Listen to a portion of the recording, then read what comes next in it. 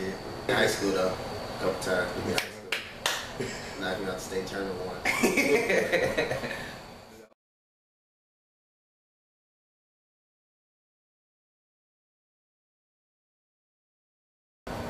Um, growing up in Bellwood, you know,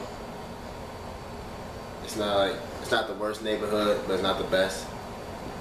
It was a lot of you know, a lot of kids. It was a lot of kids around. Schools, uh, schools weren't that hard, but you know, some kids struggling in the schools. You can tell they didn't really want to be there. But I knew. My parents told me, you know, stay in school, stay focused, get your grades. You know, you're gonna have to go to college one day. So I hope you're on the long run. You know, when I was young, it didn't really make that sense, but now make a lot of sense because you know I'm in college now. And a lot of kids that I grew up with, you know, they some of them didn't graduate high school. They definitely, you know, once that did, you know, definitely not going to college. They're doing something else. You know, out doing, you know, whatever they want to do. But going to college after the right decision. Staying in school, you know, being book smart. It's gonna help you in the long run. Be better yourself in life. He just said everything. Both of y'all. Walking the stage, high school, getting your diploma. How did that feel? How did that make your uh, your parents feel? Oh, my my uh, my graduation was two days ago, so I mean, the entire experience, like everything was fun, but like the graduation, that wasn't it wasn't all that to me. But once they they got got to my name, I I couldn't help but smile. Uh, it was just it was it was a relief. Like yeah, I'm this a I'm done with this chapter of my life, and now I get to to uh, to look forward to what what great things I can do ahead of myself. It was uh, it was like a, a door closing, but another one opening. You know, the, the football team, you know, at Glenbard West, you know, we're like brothers. We were real close. We did, spent a lot of time together in the summer, during the season, you know, during the school year. So you know, I felt like I was leaving behind some brothers, you know, going off to college and stuff. But you know, everybody you got to keep moving because life keeps going. It's not gonna wait for nobody, you know. Life keep going. So you know, it's, it just felt like when I got my diploma in my hand, you know, you know high school was over. It's finally over. Like it took a long time, but it went fast. Four years is fast.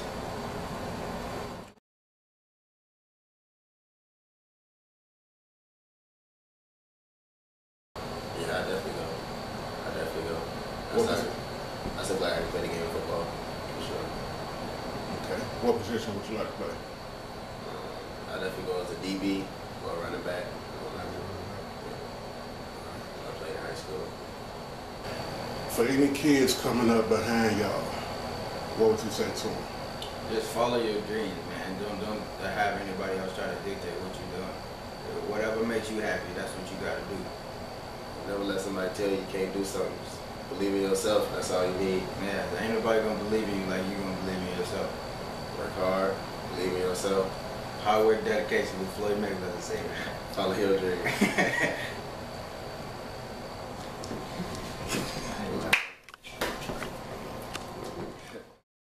Coming up on ChiSpeak. I go in my room to go to sleep, and I couldn't go to sleep, so I just go outside and start sobbing. And he come come outside trying to calm me down. It's not working. This program is brought to you by Al's Barbershop. Benevolent Shepherd, 141 pounder from University of Wisconsin Parkside from Bellwood, Illinois. This is where it all started for me. 439. My parents, and my two other brothers, Jesse and Jamel. And this is where I started school at right here, McKinley.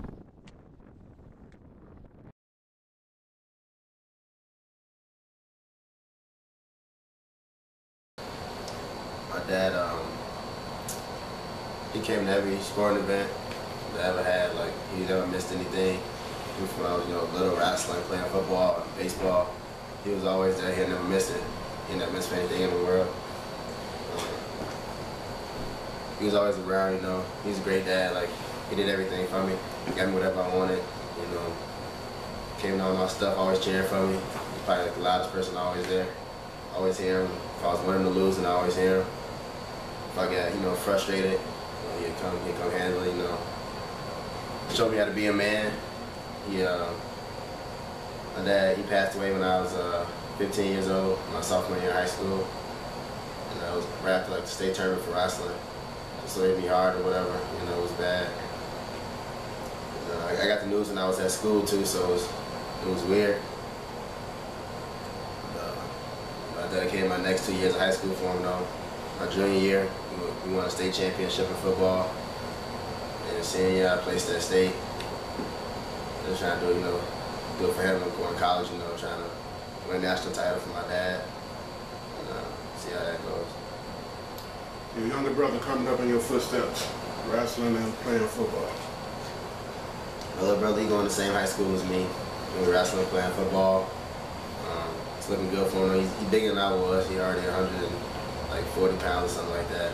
I went up like 100 pounds going into my freshman year. So I think he, uh, he'd be a great football player going by West. He'd be a great running back there, great wrestler there. Should be a four-year starter for the wrestling team. Um, looking forward to see what he can do in high school. Yeah, he's a real good athlete. What example of inspiration did your older brother leave on you? My older brother, he um, he definitely showed me how to be tough.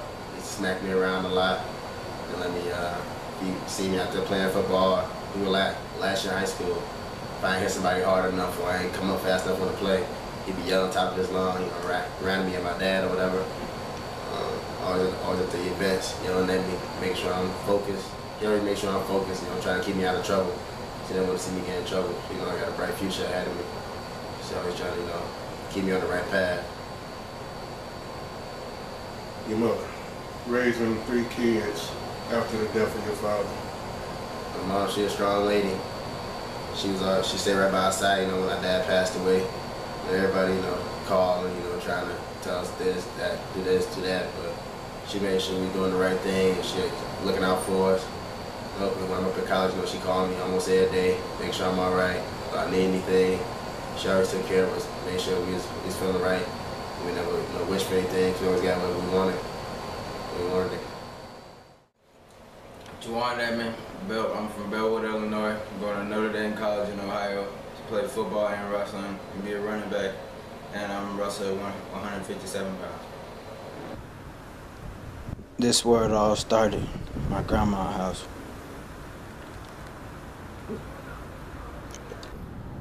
This where I started school at Lincoln Elementary.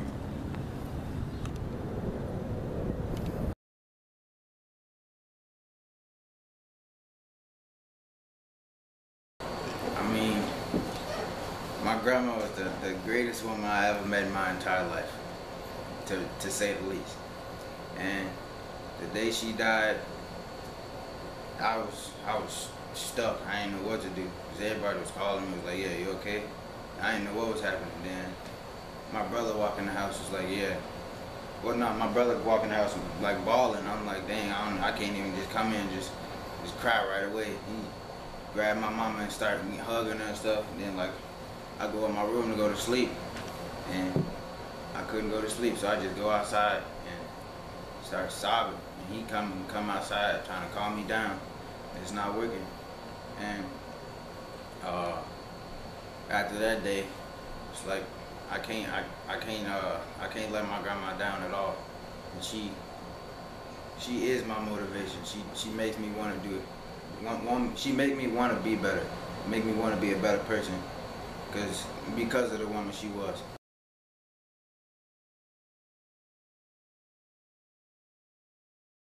My first time actually like dedicating something to her was the York football game, and that's when I I, I went off. I had her, her name taped on my, my wrist and on my ankles. I had about I should have had four touchdowns. They took one away. I had about three no 293 yards, and ever since then, I, I dedicate all my, my athletic events to her. Your mother said on Facebook that you made a promise to your grandmother about going to college, furthering your education on a scholarship. Speak on that. I mean, uh, I was always supposed to go to college and, and, and do great things. Every, everybody expect me to do great. And I, I can't let anybody down. And like a couple weeks, but like a week or two before my grandma died, I was having a conversation with her about me, uh, me going to college and being an athlete. And she didn't really say much to me. She was just telling me to, to, to do what I always do, just be great. What example or leadership did your older brother lead for you? Uh, I mean, my brother did the same things I did in, in high school, but once, once he, he got older and started maturing and stuff, he was starting to tell me that like school is the most important thing you, you need you, you gotta you gotta do, and uh, he uh just just led led by example and just showed me the way a, a, a man's supposed to be and how, how you supposed to present yourself and how you're supposed to work hard and, and, and do your best and respect your mom. You got a baby sister behind you. Yeah. Is she an inspiration to you, or you more of an inspiration to her? I mean, my little sister is is like my best friend. She, I can she can tell me anything. I, she I'm the only person she feel that way towards, and I can tell her anything. And uh, we six years apart, but we feel like we're about two years apart. And my my only goal is to be the greatest role model I can I can be for her.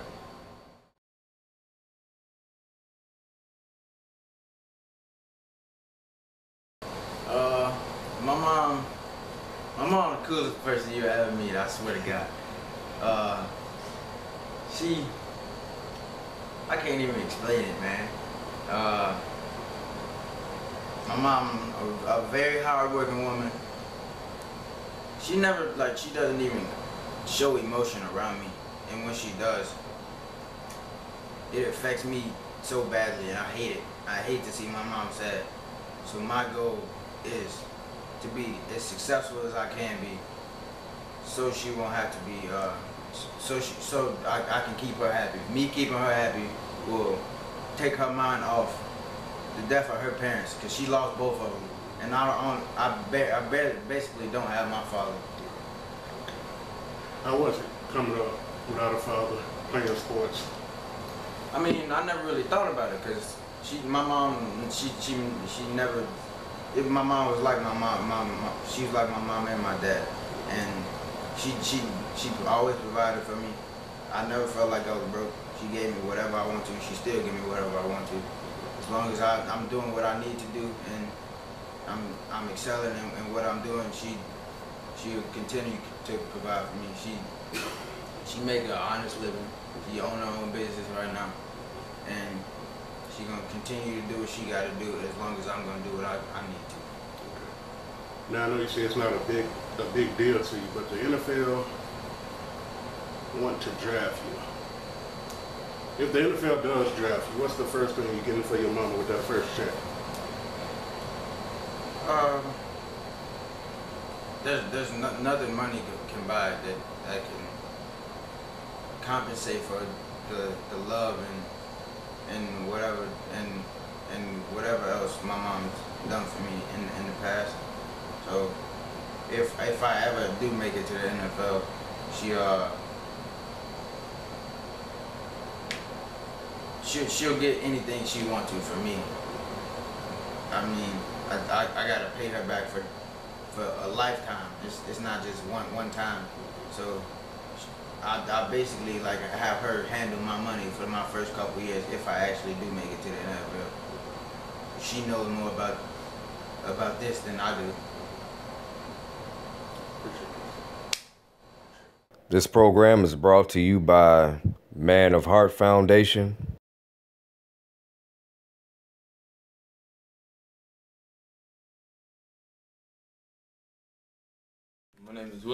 I do football, basketball, track. Um, I'm a receiver, and I'm from Bellwood, Illinois. What made you decide to play all three sports? Uh, football, I got into that in sixth grade, I think. My dad, he wanted me to try it out because he been playing it, so I tried it out and I liked it a lot. Um, basketball, I don't know how I got into that. I just started playing that since I was three years old, I think, and I liked it then. But then I stopped my junior year, so I could focus more on football. Um, track, I really got into that this year, but um, I only did it to get better for football. I guess that's it.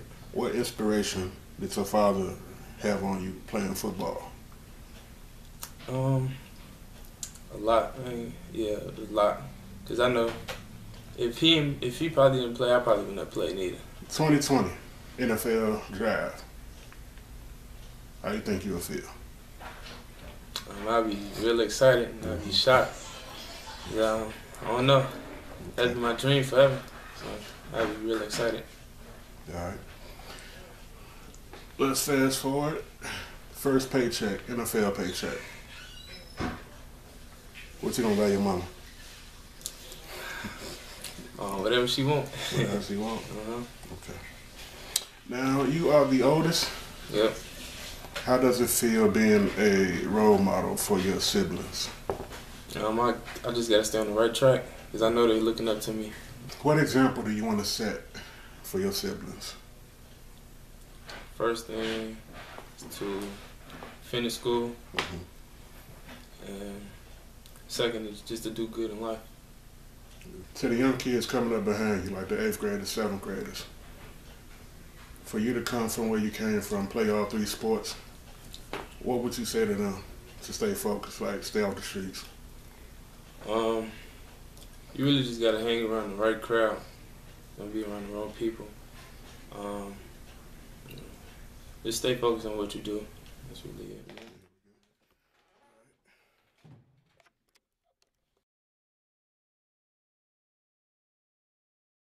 Nico Jackson, class 2016, point guard, Riverside Brookfield.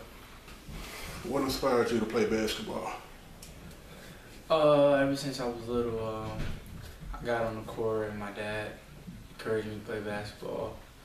And then watching my mom like work hard made me want to work hard at the game and get better. What impact does it have on you to have your mother at the games supporting you?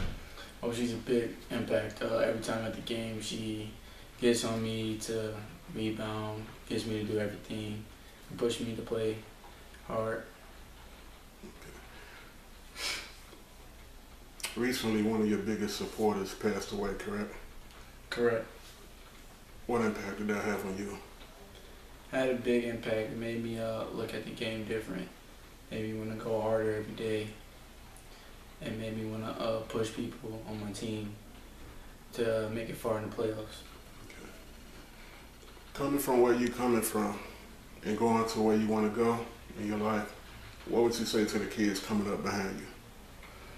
I would say um, you never know when it's gonna be your last day playing. So every day, just work hard and uh, make it your main focus. Focus on whatever you gotta do to get better. You got uh, little siblings behind you, right? Right. What influence do you want to leave on them? Um, I want to leave a big influence on them, just to be dedicated, not just in any sport or anything you do. 2020 NBA draft. What's going through your mind? Uh, what can I do to get better? Uh, what can I do to help the team out? Okay. First NBA paycheck. What do your mother get? Big house, anything she want, cars, Anything you want. anything. After the playing career is over with, what do you want people to remember about Danico Jackson? I want people to remember how hard I worked and how much effort I put in to be good.